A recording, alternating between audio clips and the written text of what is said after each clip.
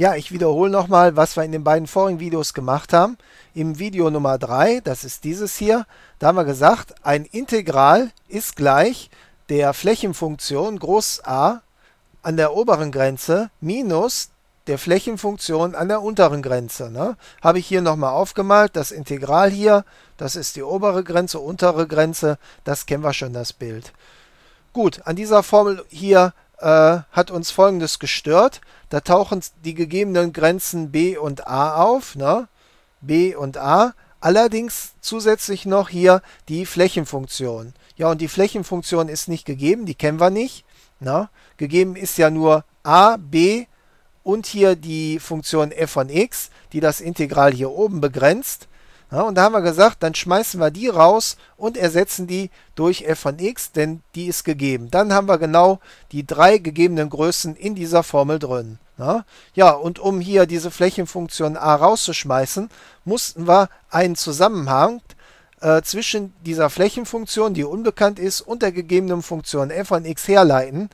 Ja, das haben wir in dem Video danach gemacht. Das war dann das Video 4. Da haben wir gesagt, die Unbekannte Flächenfunktion ist gleich der Stammfunktion groß f der gegebenen Funktion. Ja, ja und da wir das nun wissen, können wir die äh, Flächenfunktion a, hier und hier taucht die auf, ne? da können wir die ersetzen und zwar durch diesen Ausdruck hier. Ne? Wir setzen also das hier, hier und hier ein.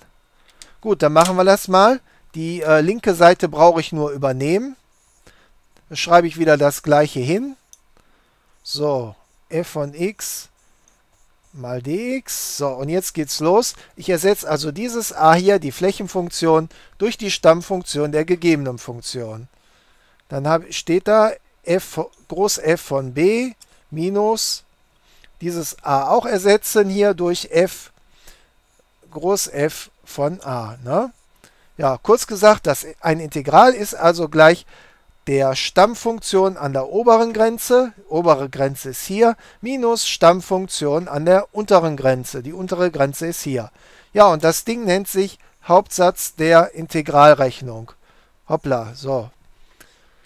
Gut, wollen wir trotzdem nochmal gucken, ob wir unser Ziel erreicht haben. Wir haben ja gesagt, äh, es sind drei Größen gegeben, a, b und f von x. Ne, und die müssen drin vorkommen in der Formel. A haben wir hier die untere Grenze, B die obere Grenze haben wir hier und f von x kommt hier vor in den beiden. Allerdings versteckt, ne, nicht direkt, da taucht nicht die Funktion f von x direkt drin vor, sondern die Stammfunktion. Ne? Also indirekt taucht die auf. Gut, aber alle drei gegebenen Größen a, b und f von x tauchen in der Formel auf.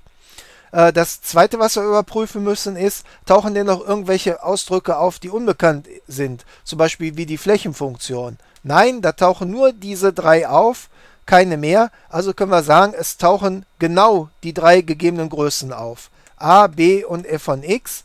Ja, und damit ist diese Formel auch perfekt. Ne? Man kann also jedes Integral, was hier gegeben ist, ne, ich gebe zum Beispiel ein Integral vor mit der Grenze a, b und oben f von x. Das kann ich mit dieser Formel ausrechnen und deshalb nennt sich das auch Hauptsatz der Integralrechnung. Das ist der zentrale Satz, mit dem man jedes Integral ausrechnet. Gut. Damit sind wir am Ende und ich verabschiede mich. Auf Wiedersehen.